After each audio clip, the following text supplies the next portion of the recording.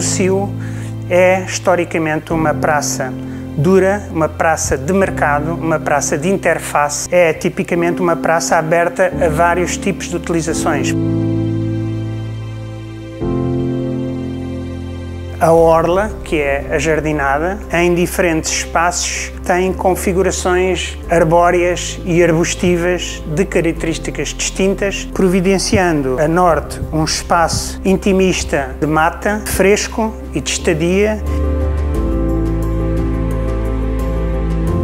Uma das questões fundamentais é promover uma melhor relação da experiência do estar com a ria. Para isso, o espaço ajardinado, com espécies de natureza ripícola, portanto próprias das estruturas ribeirinhas arborizadas, que conferirá um caráter ambiental próprio do lugar onde o recio está instalado.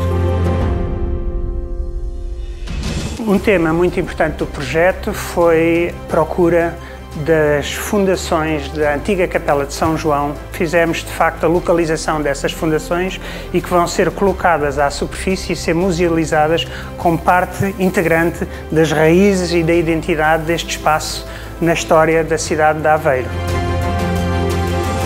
O projeto do Rocio é uma aposta muito importante da Câmara Municipal de Aveiro para darmos qualidade a uma das zonas centrais da nossa cidade onde vamos criar uma praça de eventos, um jardim com qualidade, vamos qualificar infraestruturas, construir infraestruturas novas, vamos dar qualidade e segurança a este espaço notável.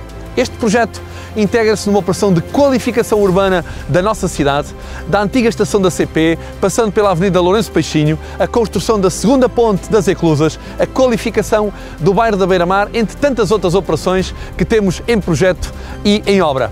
Vamos fazer mais fazer melhor e o Rocio é uma peça muito importante desse Aveiro com mais qualidade para aqueles que aqui residem e para os muitos turistas que nos visitam.